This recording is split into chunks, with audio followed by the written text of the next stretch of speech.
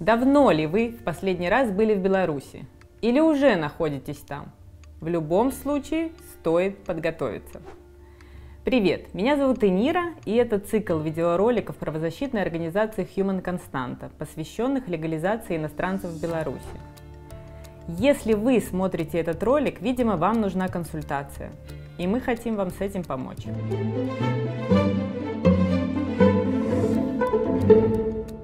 Сегодня я расскажу вам про особенности регистрации иностранцев. Вы приехали в Беларусь. Что дальше? Итак, первое – пребывание. Сначала разберемся в понятиях. Иностранцы могут Первое – временно пребывать. Второе – постоянно или временно проживать в Республике Беларусь. Что это значит? Временное пребывание – это пребывание на время срока действия визы, либо на определенный срок, если вы приехали по безвизу. Временное проживание – это разрешение проживать в стране, которое выдается не более чем на один год и с возможностью продления до двух лет для высококвалифицированных специалистов.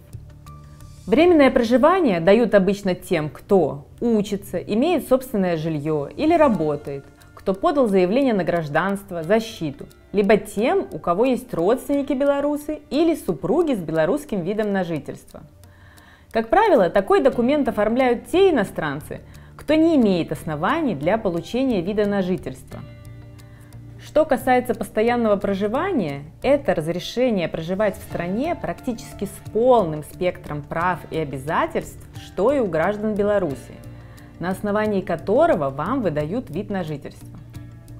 Если вы приезжаете меньше, чем на 10 дней, просто наслаждайтесь Беларусью и ни о чем не думайте. У тех, кто планирует находиться здесь дольше, должна быть регистрация. После прибытия в страну необходимо в течение 10 дней зарегистрироваться в отделе по гражданству и миграции, в АГИМе, по месту проживания или онлайн. Если вы остановились в гостинице, хостеле, агроусадьбе, вообще ни о чем не беспокойтесь. Там за вас все сделают сами. Что касается граждан Украины, Латвии, Литвы, Эстонии, Казахстана и Арабских Эмиратов, то они могут находиться в Беларуси без регистрации в течение 30 дней, а граждане России 90 дней. Во всех остальных случаях регистрация обязательна, а несоблюдение ее сроков может привести к штрафу до 50 базовых величин или даже депортации. Далее, шаг номер два. Как оформить регистрацию? Если онлайн-регистрация вам не подходит по каким-либо причинам, вы должны лично обратиться с заявлением в АГИМ по месту вашего фактического проживания. В заявлении указывается адрес и собственник жилья, где вы находитесь. К заявлению должно прилагаться первое – миграционная карта, если при въезде в Беларусь вы ее заполняли. Второе – страховой полис, кроме граждан Армении, России, Казахстана, Кыргызстана, Молдовы, Таджикистана, Узбекистана, Украины и Туркменистана. Третье – квитанция об оплате государственной пошлины. Также иногда могут попросить договор аренды, если вы арендуете жилье, или документ о родстве, если живете у родственников. Если вы все же хотите остаться дольше, то придется оформлять разрешение на временное проживание или вид на жительство. Итак, следующее, что необходимо знать, если хотите задержаться в Беларуси. Как продлить регистрацию? Если вам нужно продлить вашу регистрацию, например, вы лечитесь, женитесь, вступаете в наследство, оформляете разрешение на ВНЖ или ПМЖ в Беларуси, то вы должны заранее обратиться в АГИМ с заявлением о продлении срока временного пребывания в пределах 90 суток в календарном году. Также ваша регистрация может быть продлена на срок более 90 дней в году, если вы тяжело заболели, произошло стихийное бедствие или другая ситуация СОС, и вы не можете уехать.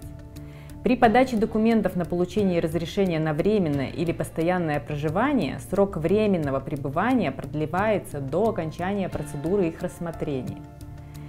Если вы являетесь жертвой торговли людьми или свидетелем по делу о торговле людьми или незаконной миграции, срок временного пребывания продлевается до вынесения приговора.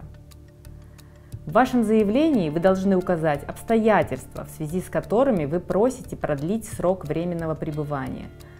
срок продления, а также подтверждение того, что человек, у которого вы живете, в курсе продления вашей регистрации. К заявлению необходимо приложить документы. Документ для выезда за границу, страховой полис, документ, подтверждающий необходимость продления срока временного пребывания, квитанция об оплате. В случае положительного решения регистрация продлевается. Если вам отказали, то вы можете обжаловать решение в суде. Если у вас еще остались вопросы, вы можете обратиться в нашу общественную приемную по электронной почте или по телефону. Мы продолжим информировать вас про то, как легально находиться в Беларуси. Более детальную информацию о регистрации иностранцев в Беларуси вы можете найти на нашем сайте. Подписывайтесь на наш канал и страницы в соцсетях. Удачи!